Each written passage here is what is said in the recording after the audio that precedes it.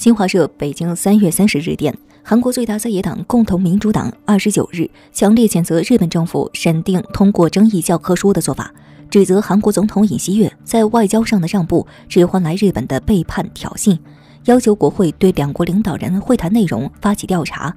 共同民主党党鞭朴洪根当天在该党一场会议上说：“我们强烈谴责日本政府公然歪曲历史和企图侵犯韩国主权的恶意行为。”他提出，韩国政府应采取强有力的回应措施，如召回驻日大使等。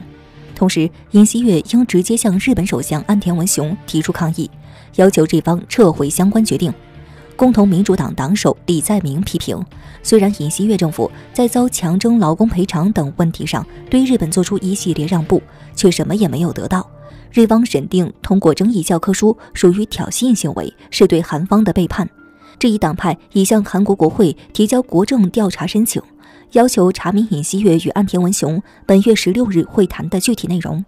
调查范围包括会谈中是否谈及独岛、慰安妇等问题，日方是否要求韩方解除福岛水产品进口禁令，以及遭强征劳工第三方代赔方案确定过程中是否存在违法渎职和滥用职权等行为。日本文部科学省二十八日审定通过一批小学教科书，宣扬日方单方面领土主张，淡化和歪曲日本强征和奴役劳工的历史事实，掩盖其殖民统治朝鲜半岛期间的暴行。韩国外交部二十八日晚些时候召见日本驻韩国大使馆总扩公使熊谷直树，提出抗议。